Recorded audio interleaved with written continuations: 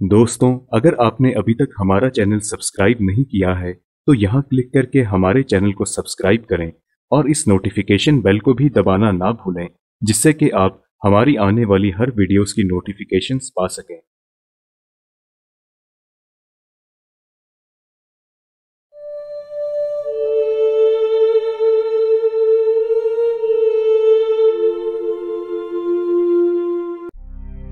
धर्म और परंपराओं की देवभूमि भारत अपने धार्मिक स्थलों की खूबसूरती और उनकी खासियत के लिए जाना जाता है। लेकिन भारत का पड़ोसी देश नेपाल, जो कभी विश्व का एकमात्र हिंदू राष्ट्र रहा है, वे भी इस मामले में पीछे नहीं है।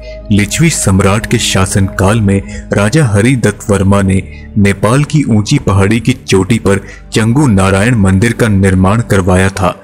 चंगू नाम के गाँव में स्थित ये मंदिर 325 ईस्वी में बनाया गया था, जो चंपक के पेड़ों के घने जंगल से घिरा हुआ है। चौथी शताब्दी में बनाए गए इस मंदिर को विष्णु जी के सबसे प्राचीन मंदिर के तौर पर जाना जाता है।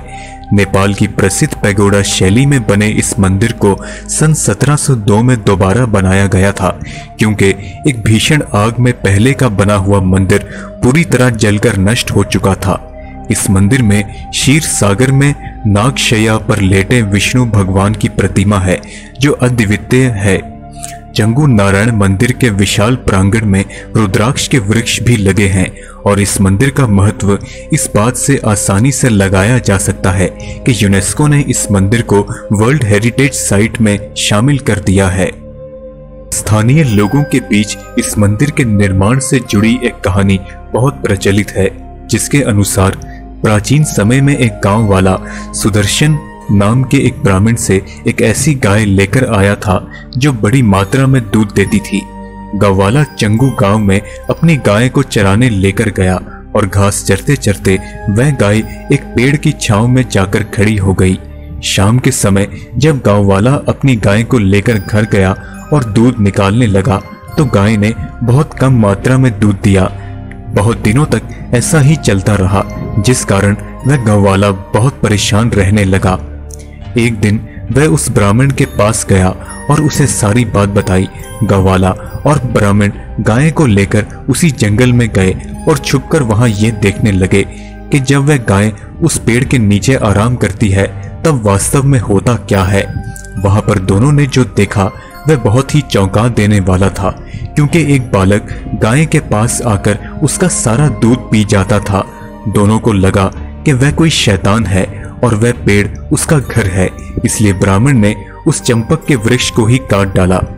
पेड़ काटने के बाद वहाँ से इंसानी खून बहने लगा और दोनों ये सोच सोच कर रोने लगे कि उनके हाथों किसी की हत्या हो गई है।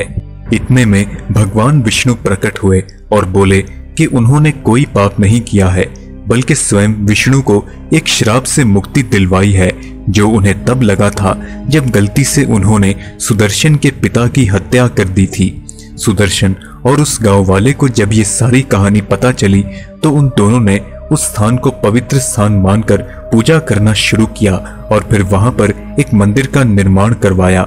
आज भी सुदर्शन नामक ब्राह्मण के वंशज इस मंदिर में पुजारी हैं और उस गाँव वाले का परिवार इस स्थान की रक्षा करता है। दोस्तों आप मेरे इंस्टाग्राम अकाउंट पर मुझे फॉलो कर सकते हैं, जहाँ पर आप मुझे पर्सनली मैसेज भी कर सकते हैं। आप अपने विचार हमें कमेंट्स के माध्यम से ज़रूर बताएँ। अगर आपको ये वीडियो पसंद आई तो इसे लाइक और शेयर ज़रूर करें। हम जल्द ही आपसे अगली वीडियो में मुलाकात करेंगे। तब तक के लिए इजाज़त दीजिए।